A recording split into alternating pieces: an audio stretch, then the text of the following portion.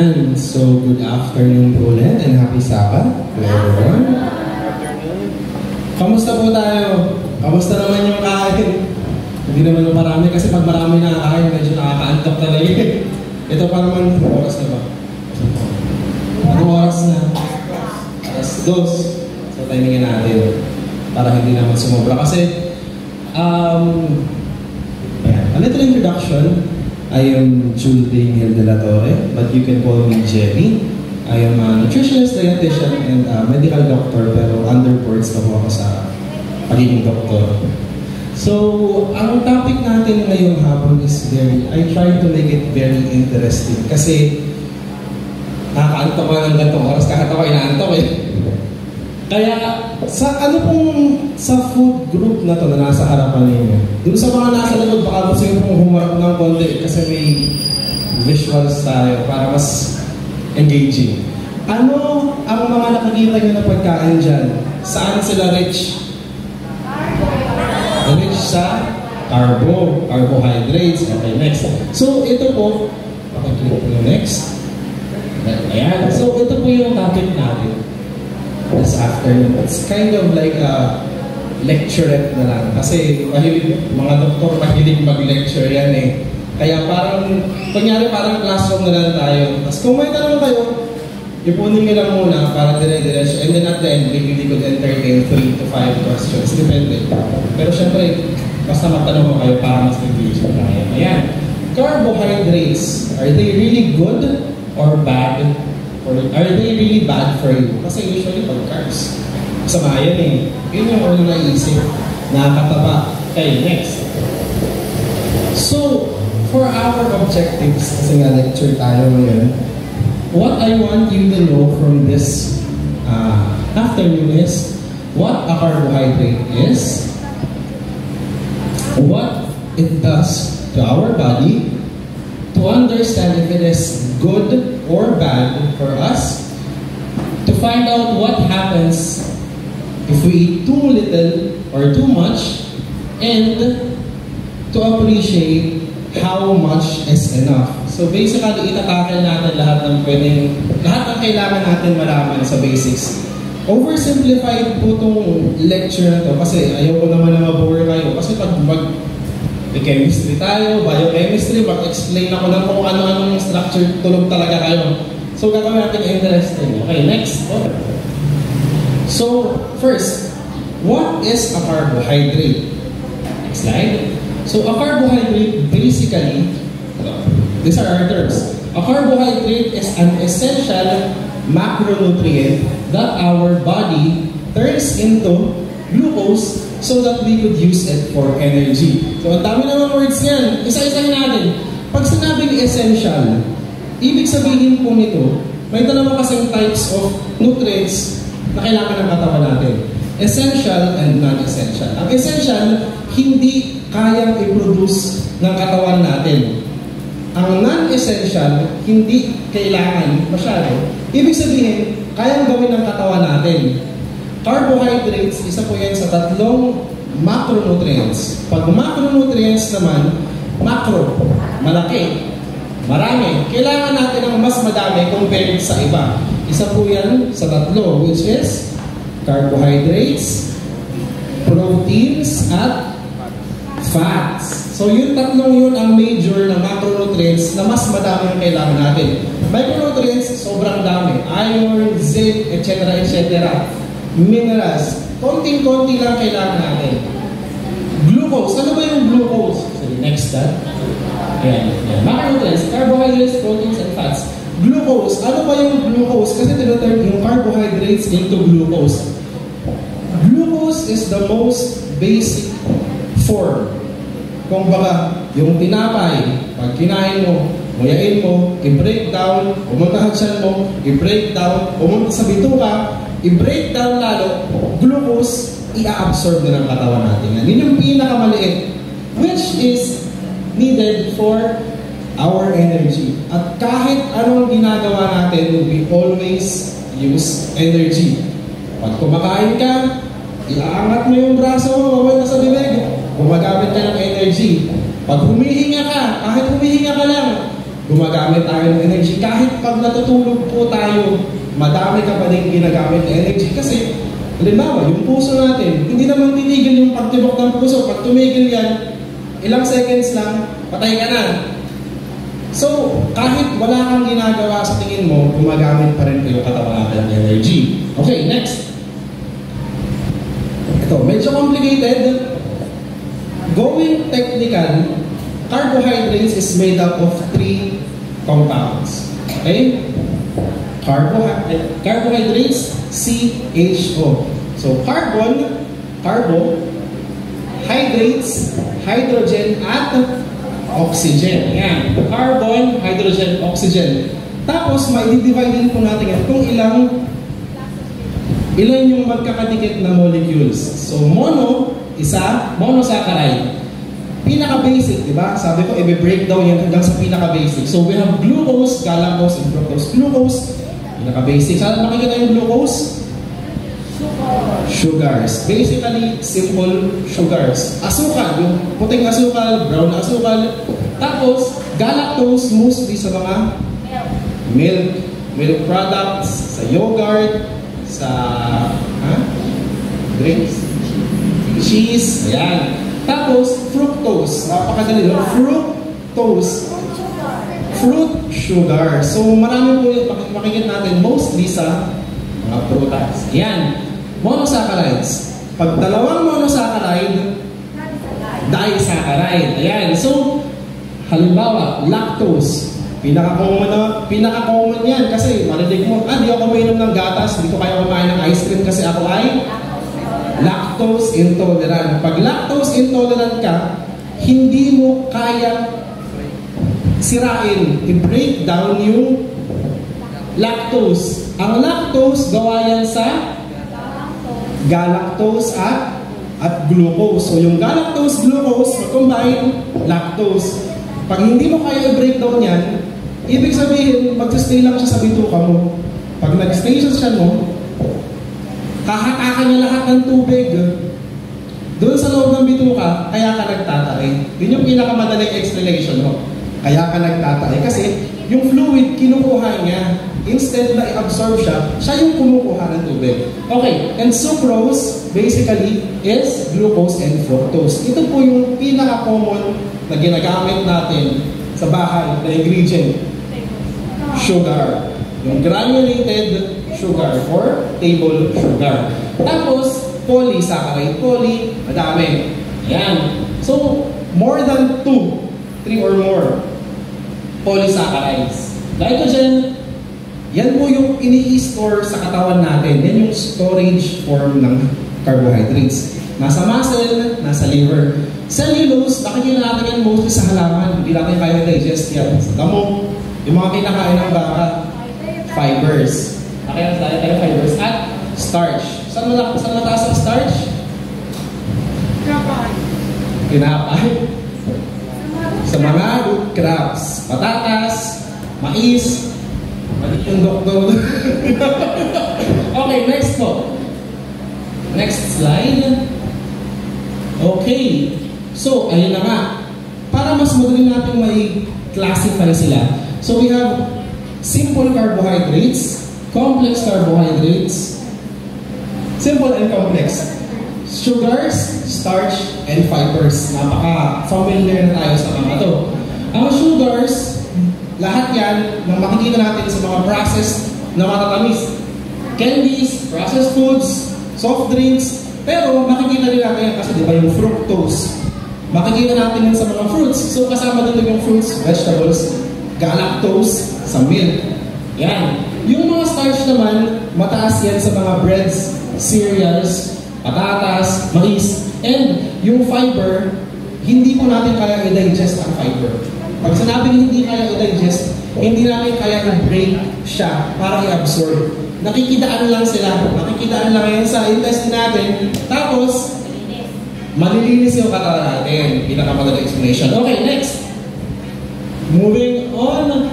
Now, ayun, alam na natin. Clear na po ba kung ano ang carbohydrates? Yes po. Okay. Ngayon, ano ang ginagawa nito sa katawan natin? Next slide. Pala. Nagre-relax tayo tapos next, makapalit siya. Ang pinaka-main na lang po, isipin natin na function, ginagawa ng carbohydrates sa ating katawan is fuel. Kung ang sasakyan, kailangan ng gasolina, kailangan ng diesel, ang katawan natin, kailangan ng glucose para mag-function. Para magawa niya lahat ng kailangan niyang gawin sa katawan natin. At yung fuel na yun, pwede siyang naka-imbak lang.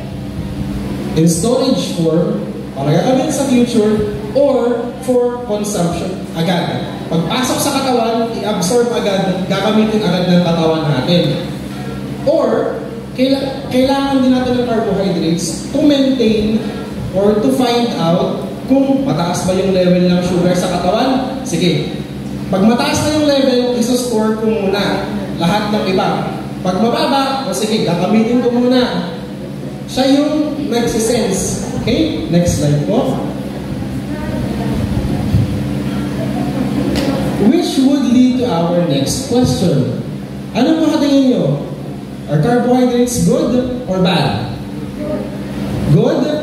Sino nagsabing good? Sino nagsabing bad?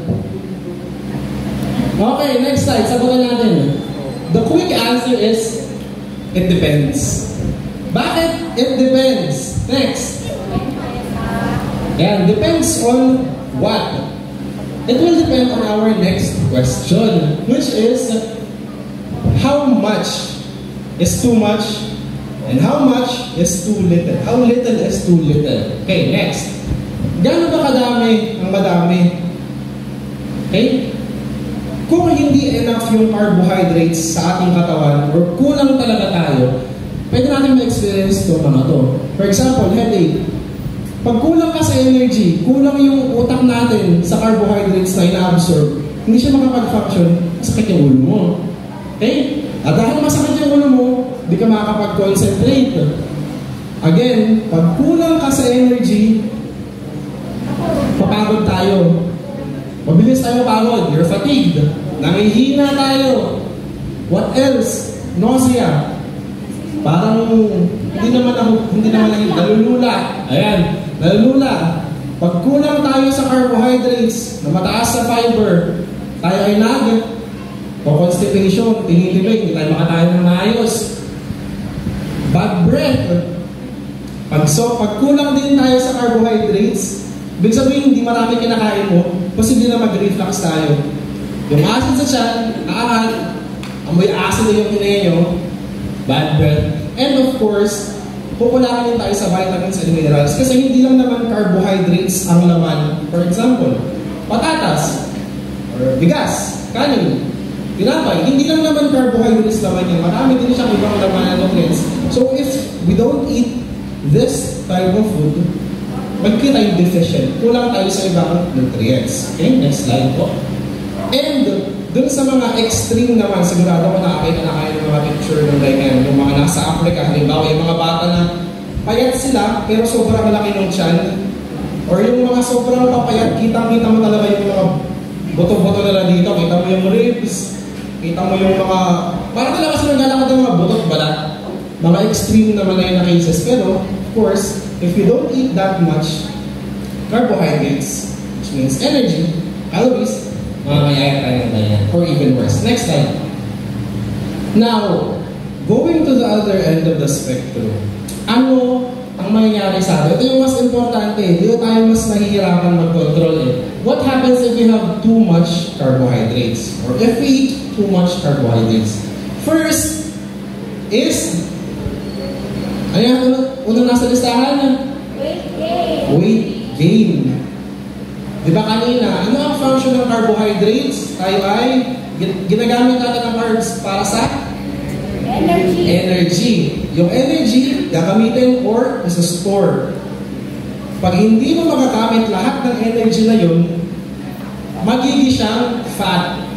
Iko-convert ng katawan natin into a storage form na mas madali para sa katawan i-store, which is fat.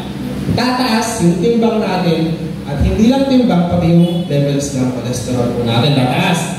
What else? Crashing energy. Hindi ba parang baliktad yun? Pagkakain ka ng madami, wala kang energy.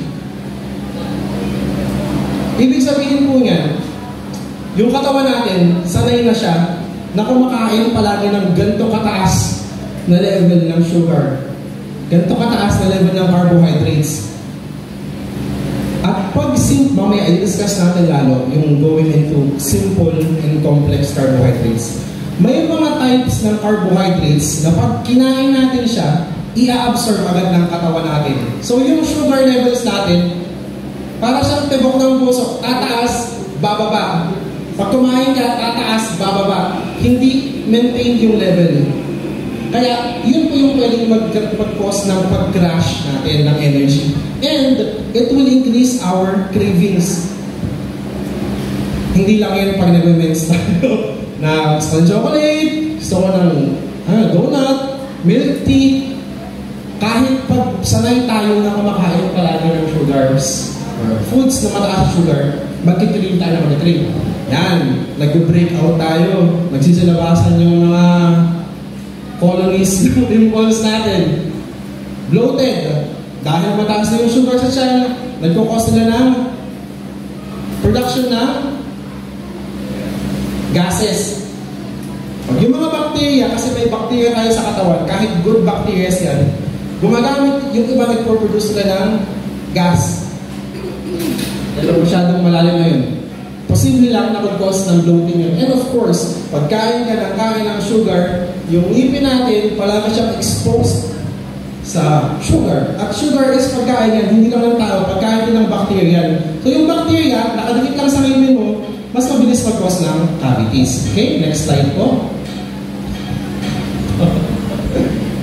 okay, so what happens in the future or in the near future pag nag-accumulate na palaging mataas yung carbohydrate natin or sugar level sa katawan? First na pwedeng mangyari sa atin is, since nag-gain tayo ng weight, it's also called clinically as obesity. Obese tayo, sabi kaya ni Daddy, pag more than 35 na yung waistline natin, considered obese na tayo. Mahirap, mahirap po talaga ma-achieve yung ideal na body weight. Kasi mga Pilipino, naturally, maliliit talaga tayo. So madaya. Dapat mas payat din tayo. Pero, ito po yung posibleng mangyari. Pag marami tayong kinakain na carbohydrates, isa-store siya, next slide na, magta-turn siya into fat. Mataas yung ating, maging malaki yung waistline. It also, especially po ngayon, ang dami na po ngayon cases na central obesity, mas mataba sa gitnang part ng katawan. Ang dami na po ngayon mga, hindi lang po sakit ng matanda yung obesity ngayon eh. Kita nyo, ang dami ng mga bata din, na mga obese. At maililing po natin yan. Siyempre, yung mga bata, kinokopya lang nila yung ginagawa ng magulang nila. Kung ano nakikita nila, or kung ano yung hinahain sa harapan nila. Hindi naman naguluto yung mga bata. Next, pag matagal po tayong obese, basically, yung mga cells sa katawan natin, mamamanhid sila sa isang hormone which is called insulin. Yung insulin, ma-describe po natin yan as susi. Kunyari, yung muscle na, yung muscles natin, kailangan niya ng glucose. Pero, para makapasok yung glucose sa muscle, may pintuan. Yung pintuan, ang magbubukas sa kanya is insulin. Ngayon, pag marami tayong fats sa katawan, yung pintuan, yung nalagyan ng susi, nakukover siya ng fat. So kahit anong saksak ng insulin, hindi niya mabubuksan. Ngayon, mag-produce ng mas madaming insulin yung katawan, mas mataas yung insulin levels natin, pero wala siyang magawa kasi kahit mataas yung levels, hindi niya mabuksan yung susi, yung susian, yung pintuan. So mataas na nga yung insulin natin, mataas pa yung glucose, that would lead to diabetes. Okay? And this would also lead to hypertension. Ano ba ang hypertension? The easiest way to explain this is mataas ang blood pressure. Bakit tumataas yung blood pressure? Dahil sa carbohydrates. Carbohydrates, di ba? Nagkakos ng obesity. Pag mataba tayo, maraming fats, tumataas yung levels ng insulin resistance. Pag naging resistant tayo sa insulin, ibig sabihin, itong mataas ng circulating insulin sa dugo natin, pwede siya mag-attract ng mas maraming tubig, mas maraming fluids. Mataas yung fluids sa dugo, syempre, mas mabilis iikot. Pag mas mabilis na umikot, yung ugat, mga ugat din natin, mga blood vessels natin, titigas yan. Pag mas matigas siya, is dapat elastic yan eh, kung mga parang balloon. Yung balloon, pag lagyan mo ng tubig, lulubo, lalaki. Pero yung balloon, na matigas, sobrang tigas, makapal siya, hindi siya elastic. Parang ganun yung mga ugat natin, which would increase the blood pressure. Okay, next slide po. Next slide. Now, ngayon, alam na natin kung ano ba yung carbohydrates, ano ba yung nangyayari sa katawan natin pag kumain tayo ng carbs, ano ba ang ginagawa nito sa katawan natin pag madami at pag konti. Ngayon, gaano kadami ang kailangan natin? Next slide. Medyo kailangan po kasi individualized yan. Kaya talaga tayo kailangan mag-consult sa ating mga nutritionists, dietitians, sa mga doktor natin pag may sakit. Kasi depende po sa napakadaming factors. Kung lalaki ka, kung babae ka, kung matangkad ka, kung maliit ka, kung ilang taon ka, kung napakadami pong factors na magde-depend kung gaano kadami yung kailangan mong glucose. But basically, sa lahat ng kakain natin sa buong araw, it would range from 45 to 65%. Sa lahat ng kinakain natin, kaya napapansin nyo, medyo tama yung mga Pilipino eh. Maintindihan no, nakalimutan ko maglagay ng picture. Isipin niyo yung plato.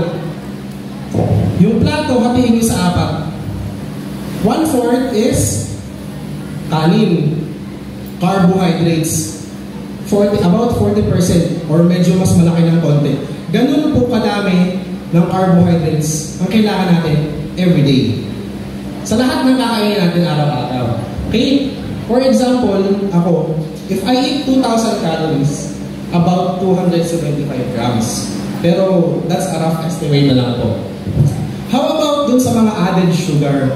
Kasi mahilig tayo maglagay ng mga dagdag na asukal talaga. May nagtuturo dito. Ayan. So, about 50 grams or less than 50 grams na yung kailangan natin. Gaano ba kadami yung 50 grams? Para sa babae, mas actually mas less mo to. Less than 6 teaspoons lang. Pero mga around 36 36 grams lang yung 6 teaspoons. At sa lalaki, syempre, since mas malaki talaga ang mga lalaki, naturally, less than 9 teaspoons. Yan, okay? Next po, going to the last part. Ngayon, palagi nating maririnig yung terms na good and bad carbohydrates. Tama ba yun? Meron bang good or bad na carbohydrates? Kasi ang carbohydrates, wala namang character yan. Hindi naman yan tao para masabi mong mabuti o masama. Pagkain lang yan. Ngayon, ano bang ibig sabihin ng good and bad carbohydrates? Next slide. Pag sinabi natin good carbs, basically, ito po yung complex. Ito na yung, ito na yung second the last slide ko naman. Pag sinabi natin complex, ibig sabihin, ito yung carbohydrates na mas mahirap i-digest ng katawan natin. Pag sinabi mo, mahirap i-digest, mas matagal siya sa tiyan natin, mas madaming energy yung ginagamit ng katawan natin para i-break down siya, mas matagal tayo busog. Isa-isahin natin. Tapos, sa bad naman, bad. Ito yung simple carbohydrates. Pag sinabi ng simple carbohydrates, mabilis siyang i-absorb. Pag kinain natin, absorb agad, gagamitin agad, babagsak agad yung energy natin after natin gamitin. So, what are the differences na? Ayan, nakalista lang po dyan. Mas mahirap siya i-digest. Ibig sabihin, mas maraming energy yung ginagamit ng katawan natin. It burns more calories, mas matagal kang busog, Picture ko na lang. Basta na-explain ko naman na kanina lahat. Ito po yung main effect ng good carbohydrates and bad carbohydrates. Which is, hindi naman talaga sila masama. Kailangan lang natin alamin kung ano at gaano kadami. Hindi, mamimili lang tayo kung ano yung better option. Pwede na naman tayo kumain ng simple carbohydrates Pero syempre, mas konti dapat compared sa complex. Mga complex carbohydrates, alam na natin yan. Ito yung mga typically ayaw natin eh. Kasi mas mahirap nguyain. Mas matigas. Tinapay, lahat ng brown. Brown bread. Whole wheat bread.